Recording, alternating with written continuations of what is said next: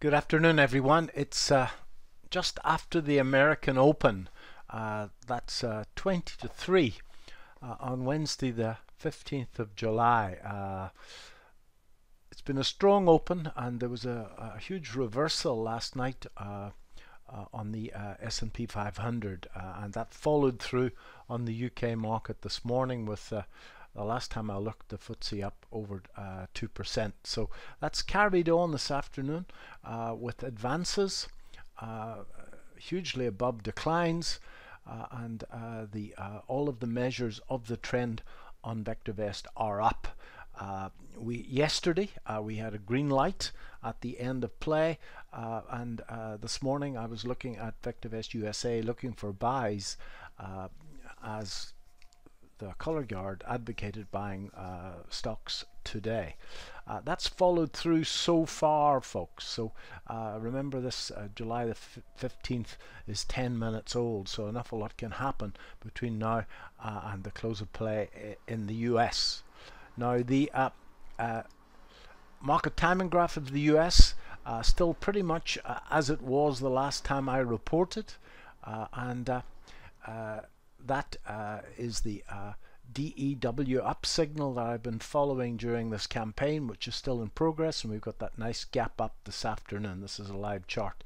As you can see, uh, the uh, buy sell ratio is still showing uh, this very marked divergence. Price is rising, uh, the buy sell ratio falling. That's never good. A similar picture with the MTI. But folks, the trend is up and I'm holding uh, the positions that I've got. Now I got stopped out of two positions in the sell-off. I got stopped out of Fortinet at entry. I made a little bit on half. I got stopped out of DXCM uh, at entry. Again, I made a little bit on half. I'm holding the rest of the positions and uh, I, am looking to maybe uh, buy into a couple of new positions uh, this afternoon. Uh, I'm going to try and show you how I, how I do that in a second. It's, it's far from being difficult. Uh, let's have a look at the market uh, and that's this afternoon. This is this gap up this afternoon. As you can see there's a double top. This is a five minute chart. That's the gap up. Now and that was the reversal yesterday afternoon. Uh, the reversal is easier. Remember this uh, SPX trades on a 24 hour market and it's actually easier to see the geometry of the market on a 24 hour market. Uh, and I've got that running in the background and uh, this is the, the 24 hour market from the last major low. And those of you that have uh, any knowledge of the wave will know that we had five waves up here. This is a 30 minute chart, folks. Five up, and we had three back. Now, the three back are agricultural, that's for sure. They should be the same size, but uh, if you uh, the only thing you really need to know about the Elliott wave principle is if you see five up and three back well that's good and yesterday afternoon, that first blue bar, that first 30 minute blue bar, that's the actual American Open yesterday afternoon. And the sell off happened pre the open and the market opened down there.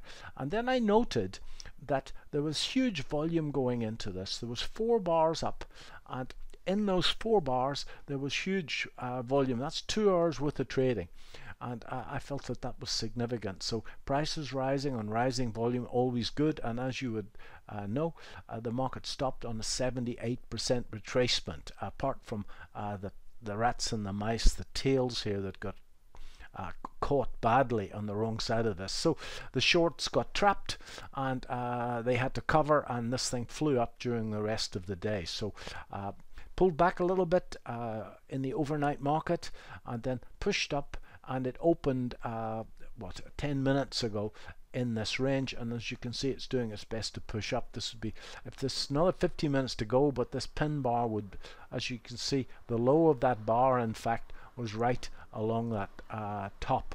So all looks good to me. Uh, we shall see. The front page of VectorVest especially uh, this advances looks very positive to me. So what do we buy? All right, well, as you know, I'm holding positions based on the, the DEW. As long as it's good and the color guard is saying yes, then uh, one has to throw the dice up the table.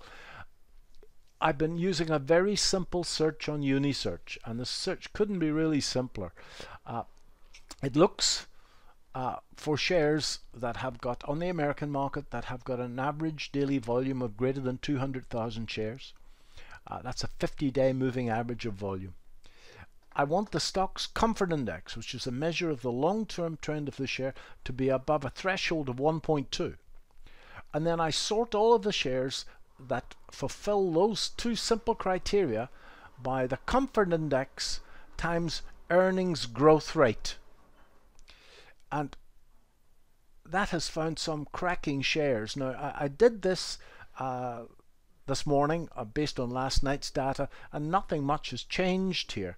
But just to give you an idea that we're in the right ballpark here, if I run that search on the 1st of July, and run the search from the 1st of July and I quick test to today, which is two weeks later, that search is up 9.85%, which is an annualized 256%. Uh, so I think that we're we're batting, we're, we're working with something that's working in this market. If I go back to the 1st of June, uh, which is six weeks, uh, and I run the search and I quick test the top 10, we can see that that's up 28% in uh, six weeks. Please do not think that this is going to happen regularly. This is a, a very special time, folks, and uh, it reminds me in the last few months of 1999 uh, that buy sell ratio divergence hasn't gone away. Nevertheless, there is a party on.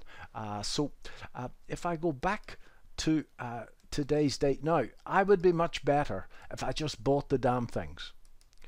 But yours truly being a technician for the last, oh, God knows how many years, uh, can't resist having a quick gander at the charts. And the two that I like the look of today are Doc, Docu, uh, DOCU and COOP. And if I uh, chart those, they fulfill a, a, a, a chart pattern that's been very kind to me over the years. If I blow this up now to three months, uh, uh, as you can see, this docu pulled back in that sell-off and it found support at that last old top. Now that's what Richard Wyckoff would have called a sweet spot.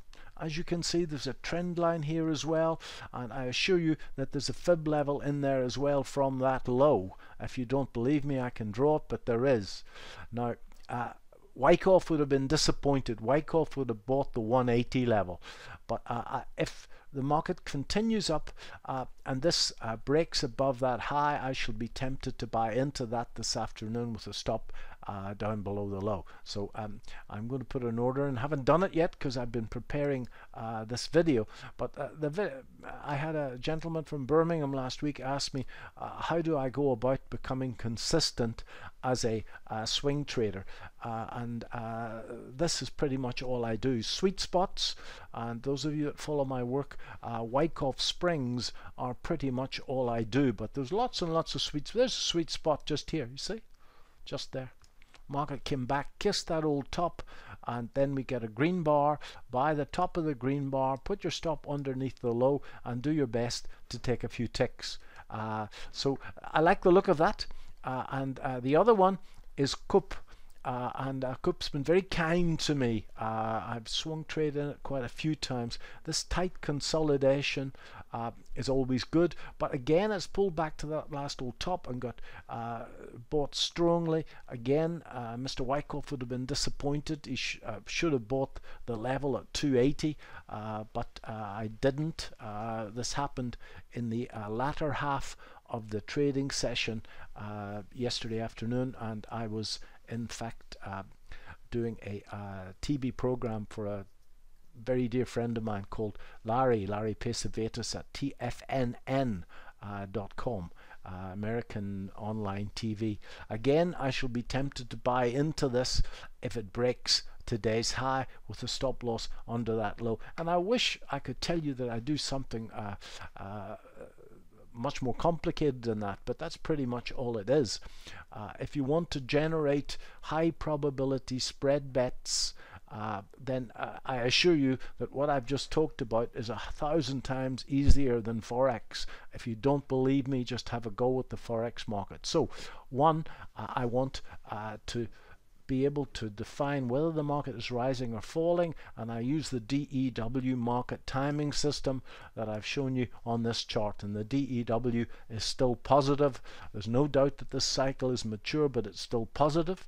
Uh, the front page of VectorVest says that it's uh, safe to buy stocks and it said that uh, when I looked at it after the close that was first thing this morning when I started to look at this so uh, uh the DEW is up uh, the short-term trend is up uh, and then I look for candidates from the very simple Unisearch which I've named uh, the DEW swingers. I used to just look at SP500 stocks, but when I was doing some work with the US uh, in the last uh, precision swing trading group, they told me that uh, they felt uh, that I was actually missing a great deal of opportunity, and they were correct. So I replaced the S&P 500 with just a volume criteria.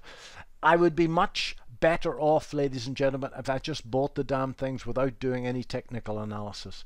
I think that uh, if you want to put a moving average on here, I think that uh, one would like to see the market uh, above a 21 day moving average and you'll find by pure magic folks that the market likes to come back and kiss that 21 day moving average that was a beautiful confluence of the 21 uh, and uh, the old high.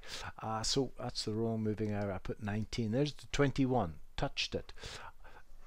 55 is also good. And if you're trading in shares uh, that come out of that uh, DEW uh, swingers search, where the 21 day moving average is above the 55 day moving average, uh, you'll find that shares will pull back into what I call the zone between the 21 and the 55 uh, and uh, that's exactly what happened here.